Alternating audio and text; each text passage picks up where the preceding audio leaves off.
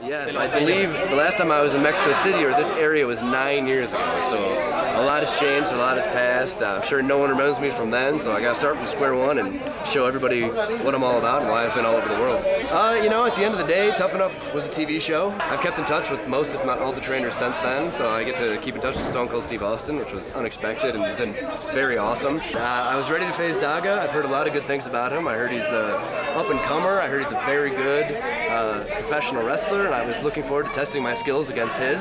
Uh, I don't know if my promo hit too close to home, or if he was he was scared of this beard, maybe, or, or what. But just the high flying, the uh, the costumes, the masks, all the whole culture about it.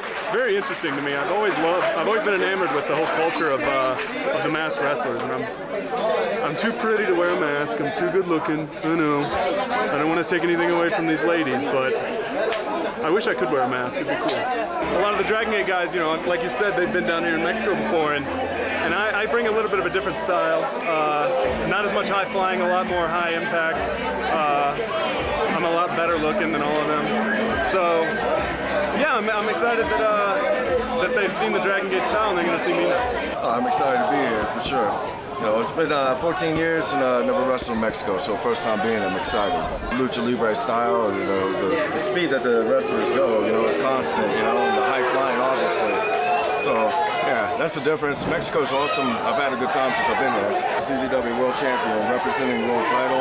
So, here coming to represent the company, so I'm excited.